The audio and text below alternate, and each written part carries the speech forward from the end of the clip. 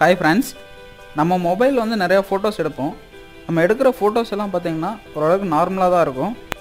நம்ம மொபைலில் எடுக்கிற ஃபோட்டோக்கும் டிஎஸ்எல்ஆர் கேமராவில் எடுக்கிற ஃபோட்டோக்கும் பார்த்திங்கன்னா டிஃப்ரெண்ட் இருக்கும். டிஎஸ்எல்ஆர் கேமராவில் வந்து நம்ம நிறையா எஃபெக்ட் செட் பண்ணி வச்சுட்டு ஃபோட்டோ எடுப்போம். அதனால் பார்த்திங்கன்னா அதில் எடுக்கிற ஃபோட்டோலாம் நமக்கு வந்து நல்லாயிருக்கும் நம்ம மொபைலில் எடுக்கிற ஃபோட்டோக்களையும் வந்து டிஎஸ்எல்ஆர் கேமராவில் எடுக்கிற ஃபோட்டோ மாதிரி நம்ம எடிட் பண்ண முடியும். அது எப்படி எடிட் பண்ணுறது அதுக்கு என்ன அப்ளிகேஷன் யூஸ் பண்ணணும் அப்படிங்கிற முழு விவரங்களை பார்ப்போம்.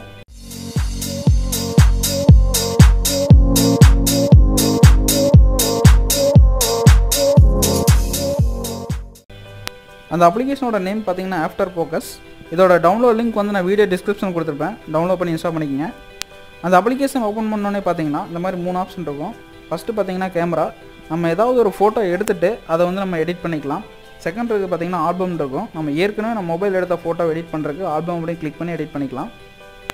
இப்போ ப்ராஜெக்ட் அப்படின்னு ஒன்று இருக்கும். நம்ம எடிட் பண்ணுற இமேஜை நம்ம வந்து ப்ராஜெக்டாக சேவ் பண்ணி வச்சுக்கலாம்.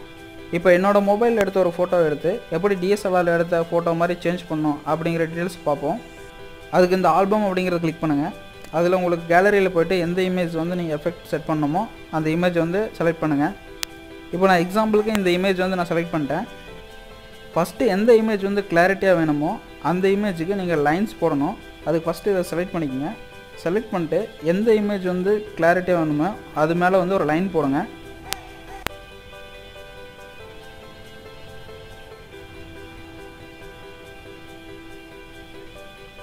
நெக்ஸ்ட்டு பார்த்தீங்கன்னா நம்ம டிஎஸ்எல்ஆரில் எடுக்கிற ஃபோட்டோஸ்லாம் பார்த்தீங்கன்னா பேக்ரவுண்டில் வந்து பிளர் ஆகிற மாதிரி எடுப்போம்.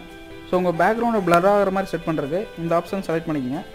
செலக்ட் பண்ணிட்டு எந்த பேக்ரவுண்ட் வந்து உங்களுக்கு பிளர் ஆகணும் அப்படிங்கிறத இதில் செலக்ட் பண்ணுங்கள் இதுலேயும் பார்த்தீங்கன்னா இங்கே லைன்ஸ் தான் ட்ரா பண்ணணும். இப்போ நான் வந்து இது பூரா எனக்கு வந்து பிளர் ஆகி தெரியணும் அப்படின்னு வந்து நான் செலக்ட் பண்ணிட்டேன். எந்த ஃபோட்டோ வந்து நமக்கு கிளாரிட்டியாக தெரியும்னு நினைக்கிறோமோ அது வந்து லேசாக ரெட் கலரில் இருக்கும். எது வந்து பிளராகி தெரியும்னு நினைக்கிறோமோ அது பார்த்திங்கன்னா உங்களுக்கு பின்னாடி வந்து அந்த ரெட் கலர் இருக்கிறது இருக்காது.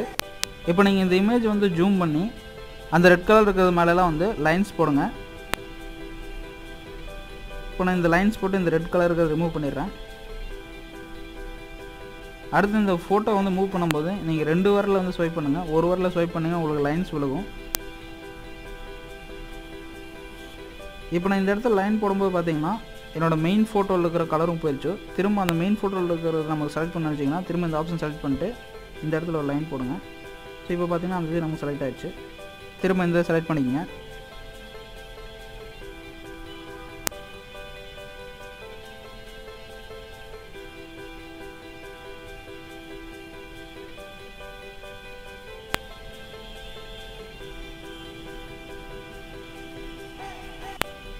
இப்போ நீங்கள் இந்த மாதிரி லைன்ஸ் போட்டு நெக்ஸ்ட் அப்படின்னு கிளிக் பண்ணுங்கள் இப்போ பார்த்தீங்கன்னா நம்மளோட ஃபோட்டோ வந்து எடிட் ஆகி வரும்.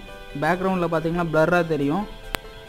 நம்ம எந்த இமேஜ் வந்து நல்லா கிளாரிட்டியாக தெரியும்னு லைன்ஸ் போட்டோமோ அது வந்து நமக்கு நல்லா கிளாரிட்டியாக தெரியும். இப்போ பார்த்தீங்கன்னா நம்மளோட ஃபோட்டோ மட்டும் நல்லா தெரியும். பின்னாடி இருக்கிற இமேஜஸ் எல்லாமே வந்து பேக்ரவுண்ட் இமேஜஸ் எல்லாமே வந்து ப்ளர்ராக தெரியும். இந்த இமேஜ் பார்த்தீங்கன்னா ஒரு டிஎஸ்எல்ஆர் எஃபெக்ட்டில் எடுத்த இமேஜ் மாதிரியே இருக்கும். இந்த பிளரை வந்து நீங்கள் இன்னும் இன்க்ரீஸ் பண்ணலாம் டிக்ரீஸ் பண்ணலாம். அதுக்கு இந்த பிளர் அப்படிங்கிற ஆப்ஷன் கிளிக் பண்ணுங்கள் நான் பிளர் இன்க்ரீஸ் பண்ணிட்டேன். இதை அட்ஜஸ்ட் பண்ணுறது மூலிமா நீங்கள் பேக்ரவுண்ட் இமேஜோட பிளரை வந்து இன்க்ரீஸ் மற்றும் டிக்ரீஸ் பண்ணிக்கலாம். ஸோ இப்போ நான் இந்த அளவுக்கு செட் பண்ணிக்கிறேன். அதுக்கடுத்து பார்த்தீங்கன்னா அப்பச்சர் ஃபேரிங் ஃபில்டர் எஃபெக்ட் எல்லாமே நீங்கள் செட் பண்ணிக்கலாம். ஸோ எல்லா ஆப்ஷனும் இதில் கொடுத்துருப்பாங்க. இப்போ இந்த ஃபோட்டோ பார்த்தீங்கன்னா நம்ம வந்து ஒரு டிஎஸ்எல்ஆர் கேமரா யூஸ் பண்ணி பேக்ரவுண்டை பிளர் பண்ணி எடுத்த ஃபோட்டோ மாதிரியே இருக்கும். இப்போ சேவ் அப்படின்னு கிளிக் பண்ணிங்கன்னா அந்த ஃபோட்டோ வந்து சேவ் ஆயிரும். எஸ் அப்படின்னு கொடுங்க. இப்போ நம்ம அந்த ரெண்டு இமேஜோட டிஃப்ரெண்ட் பார்ப்போம். இப்போ இதில் மேலே இருக்கிற இந்த இமேஜ் பார்த்தீங்கன்னா என் மொபைலில் எடுத்த இமேஜ் அது கீழே இருக்கிறது பார்த்தீங்கன்னா ஆஃப்டர் ஃபோக்கஸில் வந்து எடிட் பண்ண இமேஜ் இதில் பார்த்தீங்கன்னா ரெண்டு இமேஜுக்கு நம்ம டிஃப்ரெண்ட் தெரியும். ஸோ இதே மாதிரி உங்களோட ஃபோட்டோஸையும் வந்து நீங்கள் ஆஃப்டர் ஃபோக்கஸ் அப்ளிகேஷன் யூஸ் பண்ணி நீங்கள் எடிட் பண்ணிக்கலாம். இந்த அப்ளிகேஷன் வந்து உங்கள் ஃபோட்டோஸ் எடிட் பண்ணுறதுக்கு ரொம்ப பயனுள்ளதாக இருக்கும்னு நினைக்கிறேன். இந்த அப்ளிகேஷன் பற்றின கருத்துக்களை கமெண்ட்ஸில் ஷேர் பண்ணுங்கள் மேலும் இதே மாதிரி ஆண்ட்ராய்ட் ஆப்ஸ் பற்றின தகவல்களை தெரிஞ்சுக்க ஆண்ட்ராய்ட் ஆப்ஸின் தமிழ் சேனலை சப்ஸ்கிரைப் பண்ணிக்கங்க.